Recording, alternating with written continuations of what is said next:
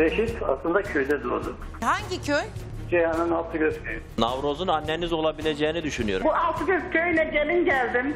Navruz iki tane çocuk satmış. Kerime Hanım'la bir bayan daha çocuğu almışlar gitmişler. Esra Erol'da ekibi Altıgöz köyünde. Reşit'in ailesiyle ilgili öyle iddialar atıldı ki herkes şok oldu. Biz de iddiaların tam merkezindeyiz. Altıgöz köyündeyiz. Reşit'in annesi olduğu iddia edilen Navros Hanım'ın yaşadığı Altıgöz köyünden ilk görüntüler.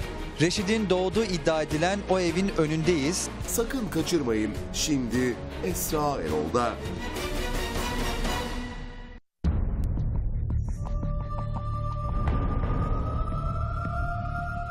Nacihan telefon dedi ki Mülkiye dedi sen dedi çok oluyorsun dedi. Reçeteden bahsetti dün. Onun fotokopisini çekip gönderiyor aslında göndermiyor. Belgeler var diyorum sende bir dosyalar varmış orada köpürüyor bana. Reçete nasıl geçiyor senin eline? O reçete neyin nesi? Reçetenin üzerinde de Zeynep Nane. Zeynep Nane yazıyor. is- Adana Meydan Doğum Evi'nde skandallar bitmiyor. Mülkiye Meleğin öz annesi Zeynep Nane mi? Zeynep Nane nerede yaşıyor? Yaşananların en yakın tanığı konuşacak. Şimdi Esra Erol'da.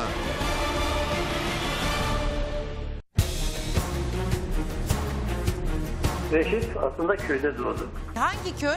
Ceyhan'ın Altıgöz köyü. Navroz'un anneniz olabileceğini düşünüyorum. Bu Altıgöz köyüne gelin geldim.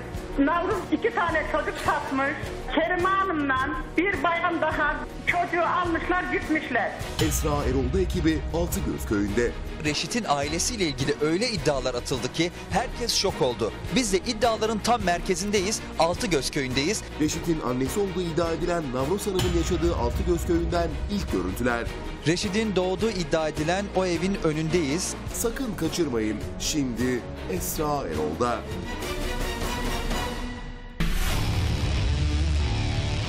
Navroz, dedemgilin özel çobanı bunlar. Köyde verilmiş bir çocuk var. Navroz'un biyolojik annesi olduğunu da biliyorlar. Bu Altıgöz köyüne gelin geldim.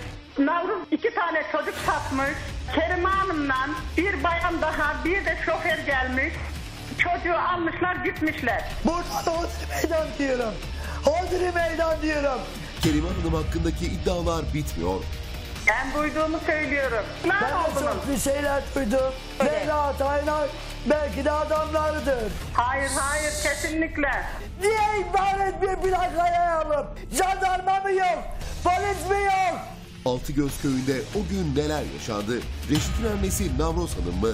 Navroz'un anneniz olabileceğini düşünüyorum. Şahitler konuşacak, yer yerinden oynayacak. Şimdi Esra Erol'da.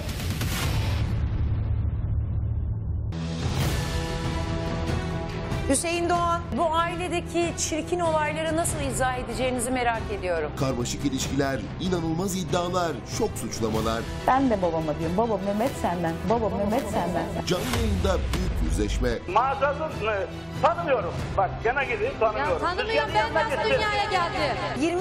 23-25 yıl önce engelli bir Evet. kadına rıza dışında birlikte oldunuz mu? Ve oradan o kadın çocuk dünyaya getirdi mi? Ve evlatlık verildi mi?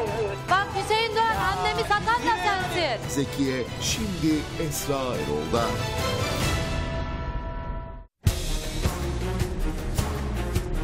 Reşit aslında köyde doğdu. Hangi köy? Ceyhan'ın Altıgöz köyü. Navroz'un anneniz olabileceğini düşünüyorum. Bu Altıgöz köyüne gelin geldim. Navruz iki tane çocuk satmış.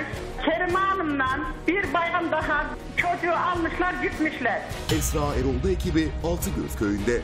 Reşit'in ailesiyle ilgili öyle iddialar atıldı ki herkes şok oldu. Biz de iddiaların tam merkezindeyiz. Altıgöz köyündeyiz. Reşit'in annesi olduğu iddia edilen Navros Hanım'ın yaşadığı Altıgöz köyünden ilk görüntüler.